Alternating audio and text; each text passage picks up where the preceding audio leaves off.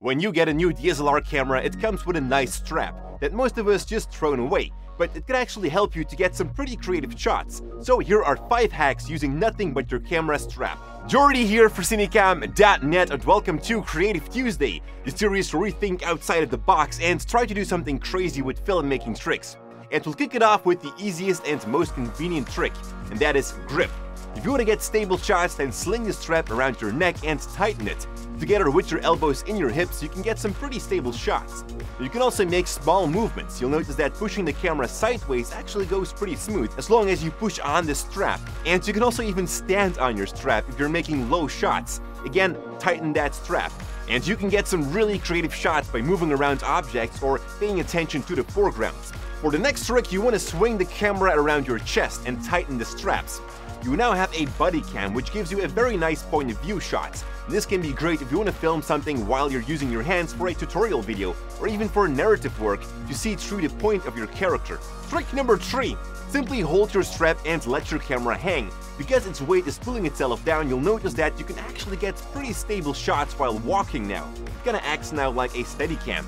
But depending on the weight of your lens, your camera will point either up or down too much. So here's a quick solution to get control over your tilt. Take the middle of your strap and wrap it under your lens. Now depending on where you hold your strap now, it will define where your camera or lens will point to.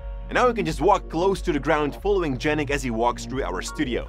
Now we got two more awesome tricks for you guys, but before I continue, I first like to make a quick shout out to Videoblocks who are sponsoring us today. It's a stock library which I believe is a mandatory accessory to every filmmaker. For only 99 bucks per year, you can download unlimited clips, video effects, templates, and so much more from their growing library. And if you'd like to try it out first, then just make sure to hit the first link in the description below to start a 7-day trial for free.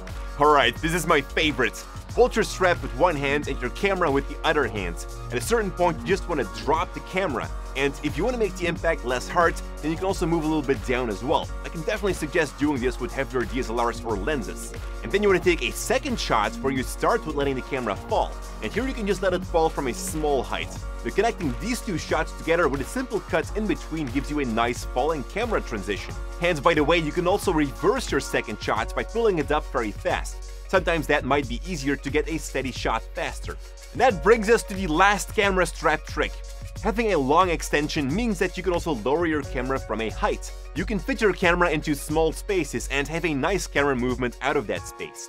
So those were the 5 camera strap hacks. If you enjoyed it, and please hit the subscribe button to see us twice a week.